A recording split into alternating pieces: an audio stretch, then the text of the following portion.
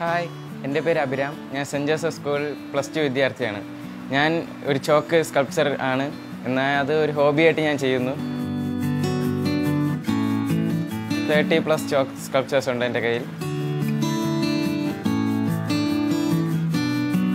എയ്ത്തിൽ പഠിക്കുമ്പോഴാണ് ഇത് ആദ്യമായിട്ട് ഞാൻ ചെയ്തു നോക്കുന്നത്. അങ്ങനെ ഒരു കല എന്റെ ഉണ്ടെന്ന് ഞാൻ അറിയുന്നത്. എയ്ത്തിലായിരുന്നപ്പോൾ ഒരു ചെറിയൊരു ചോക്ക് പീസാണ് എന്റെ ജീവിതം ഇത്രയും മാറ്റിമറിച്ചത്. ഞാൻ മാത്സിലൊരു ഡയഗ്രാം വരച്ചുകൊണ്ടിരുന്നപ്പോൾ ഒരു പെട്ടെന്ന് ഒരു ചോക്ക് പീസ് ഫ്രണ്ട്സ് എല്ലാം കളിച്ചുകൊണ്ടിരുന്നപ്പം പെട്ടെന്നൊന്ന് വീഴുന്നതാണ്. അതിൽ ഞാൻ ഒരു ഹാർട്ട് ഷേപ്പ് കണ്ടു.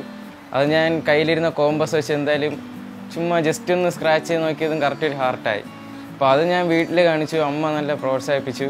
പിന്നെ പിന്നെ എനിക്ക് മാമൻ ബിജു സി ജി എന്ന പേര്. മാമൻ പ്രൊഫഷണലായിട്ട് സോപ്പ് സ്കൾച്ചറാണ് മാമൻ അന്ന് ഒരു ഫിസ്റ്റ് ചെയ്തിട്ട് ഫേസ്ബുക്കിലൊക്കെ നല്ല നല്ല ഇതൊക്കെ ആയിട്ടുണ്ടായിരുന്നു. അപ്പം അമ്മ ചോദിച്ചു മാമന് സോപ്പിൽ ചെയ്യാമെങ്കിൽ എനിക്ക് എന്തുകൊണ്ട് ചോക്കിൽ ചെയ്തുകൂടാം? ആ ഒരു ചോദ്യത്തിലാണ് ഞാൻ ഇത്രയും വളർന്നത്. എന്നാൽ ആ ചോക്കിൽ ഞാൻ ആദ്യം ഒരു ഫിസ്റ്റ് ഉണ്ടാക്കി. ഞാൻ അന്ന് ചിന്മയ വിദ്യാലയത്തിലാണ് പഠിക്കുന്നത്. അപ്പോൾ അവിടെ ടീച്ചർ നല്ല സപ്പോർട്ടായിരുന്നു ടീച്ചേഴ്സ്. അപ്പോൾ ഞാൻ മാത്സ് ടീച്ചറിനെ കൊണ്ട് കാണിച്ചത്. ടീച്ചറിനെ ആദ്യം വിശ്വസിക്കാൻ പറ്റിയില്ല. അപ്പോൾ ടീച്ചർ എന്ത് ചെയ്യുന്നു വെച്ചാൽ അത് വിശ്വാസം വരുത്താൻ വേണ്ടിയിട്ട് ചോക്കാണോ ഇല്ലയെന്നറിയാൻ ബോർഡിലൊന്ന് വരച്ചു.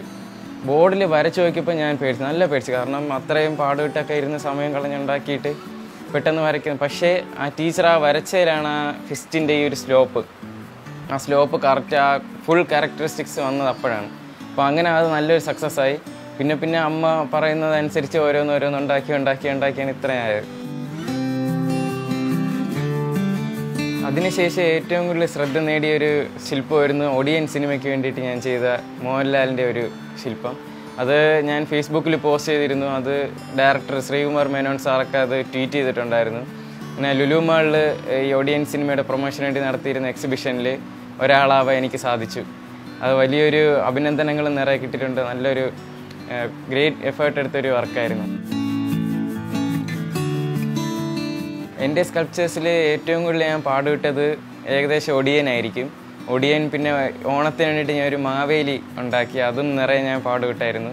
പിന്നെ ഈഫിൽ ടവറൊക്കെ നിറയെ ഹോൾസൊക്കെ ഇട്ടുകൊണ്ട് നിറയെ പാടുവിട്ടു.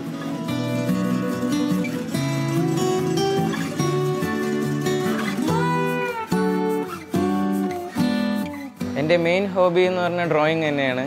ഞാൻ ഒമ്പത് വർഷമായിട്ട് ടിന്റ് അക്കാഡമി ഫോർ ആർട്ട് എന്ന് പറഞ്ഞ സ്ഥാപനത്തിൽ ഞാൻ സ്റ്റുഡന്റാണ് അവിടെ ഞാൻ ഏറെക്കുറെ എല്ലാ കലകളും ഞാൻ പഠിച്ചിട്ടുണ്ട്.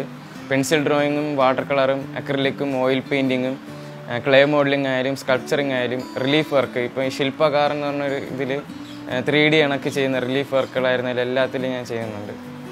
മെയിനായിട്ട് പെൻസിൽ ഡ്രോയിങ് ആണ് ഇപ്പം കോൺസെൻട്രേറ്റ് ചെയ്യുന്നത്. പെൻസിൽ ഡ്രോയിങ് ആയാലും ഇപ്പം നിറയൊക്കെ വരച്ചിട്ടുണ്ടെന്ന് ഞാൻ പറയാം.